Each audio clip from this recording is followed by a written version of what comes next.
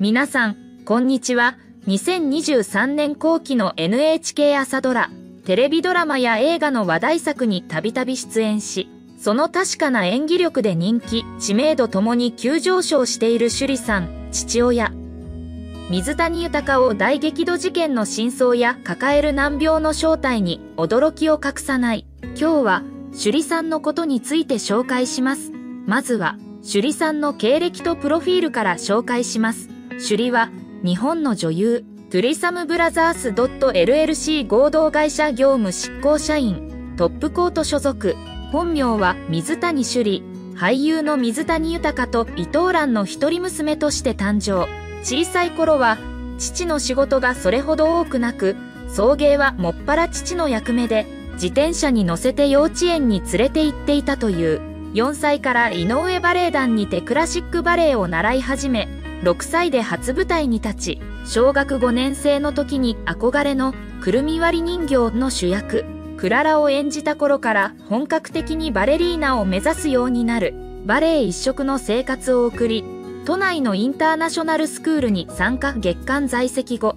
オーディションに合格して15歳の時に高校に上がるタイミングで、本場イギリスのバレエ学校へバレエ留学するものの、アキレス腱断裂に足首の剥離骨折と度重なる怪我に遭遇し、医師から前みたいには踊れないと告げられ治療のため帰国、高等学校卒業程度認定試験大学入学の資格を得て、2009年に明治学院大学に入学し、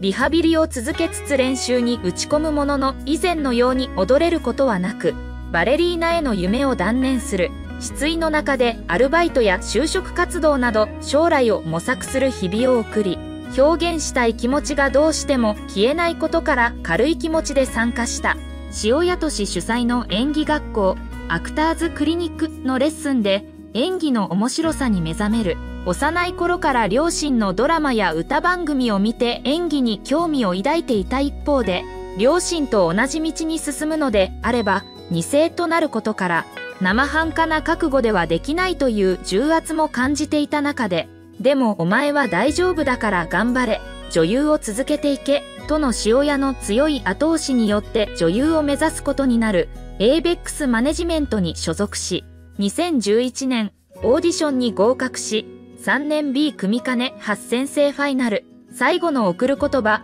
4時間 SP で女優デビュー、実年齢より5歳下で、坂本金八に恋する中学生の役を演じた。この時、武田鉄矢は、金八のライバルだった小学校教師の娘、と表現している。大学在学中にデビューし、多忙な芸能生活を理由に、2012年、大学4年時で大学を中退して女優の道へと進む、デビュー後も、アクターズクリニック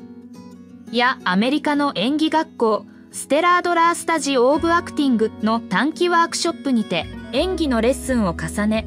自分のことは全て自分で決めなさいという両親の教育方針もあり、自ら進んで多くの舞台や映画、テレビドラマに出演して地道に経験を重ねる。首里さんは、確かに細くて、拒食症なの？と心配する声もありますが、そのような事実はありません。拒食症とはいわゆる拒食症とは、太ることに対して過剰な恐れを感じることから過度の食事制限を行い、極度のレベルにまで体重減少をきたすようになった状態を指します。そうなんですね。首里さんを調べても、食事制限の話などは全く聞こえてきませんでした。むしろ、ファミレス好き、特にバーミヤン、こんな微笑ましい情報は出てきましたので、しっかり食べているんだなぁという印象を持ちました。2022年10月17日、連続テレビ小説、ブギウギで2471人が応募したオーディションで選出され、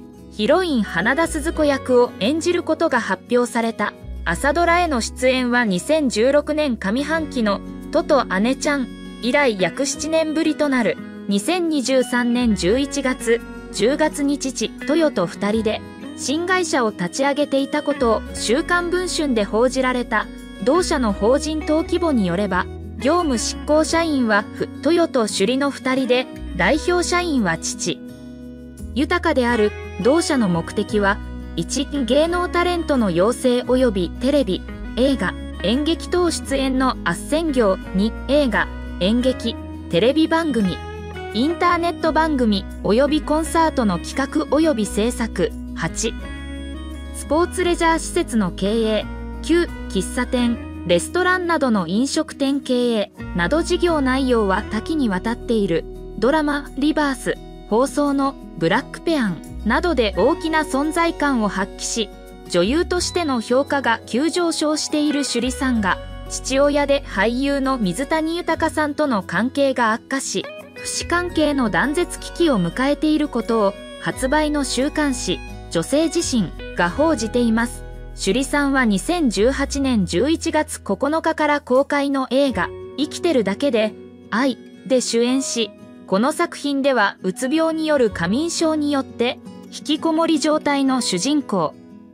安子を演じており、感情をうまくコントロールできないことから菅田将暉さん演じる同棲中の恋人に理不尽な感情をぶつけ、クライマックスには服を脱ぎながら商店街を疾走するというシーンがあり、首里さんが初めて裸姿を披露しているとして注目されています。しかし、水谷豊さんは脱ぐシーンがある作品に出演することを知らず、首里さんに対して怒り浸透のようで、女性自身、の記事では芸能プロダクション関係者が現在の親子関係について最大の危機を迎えていると言っていいでしょう。水谷さんは娘さんが今回自分に何の相談もなしに映画で脱いだことが未だに許せないようです。相当ご立腹だと聞いています。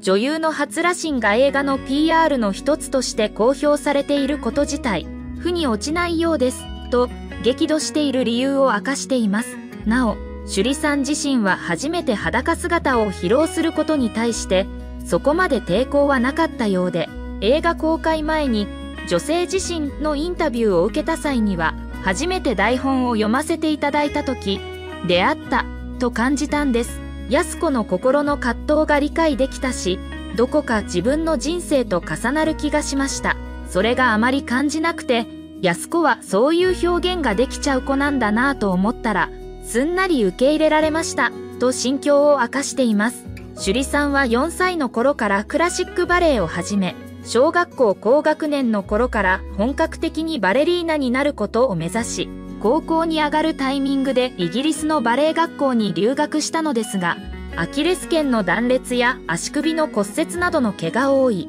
これによって最終的にバレリーナになる夢を断念しました。その後アルバイトや就職活動を行う中で軽い気持ちで演技学校へ通い、演技の面白さに目覚めていき、首里さんは水谷豊さんと女優、伊藤蘭さんを両親に持つことから、幼い頃より親と同じ道を進んだ場合には2世として大きなものを背負うことになるという重圧を感じていたものの、当時通っていた演技学校を主催していた俳優、映画監督の塩谷俊さんから、強い後押しを受け、女優になることを目指しました。デビュー以降も演技学校でレッスンを重ねていき、2016年に出演した NHK 連続テレビ小説、トト姉ちゃんで注目を集め、その後も様々なドラマや映画、舞台で存在感のある演技を披露し、現在では水谷豊さんと伊藤蘭さんの娘というわけではなく、一人の女優として高い評価を受けています。一方プライベートでは、2012年5月に上演の舞台、黄色い叫びでの共演がきっかけで、俳優、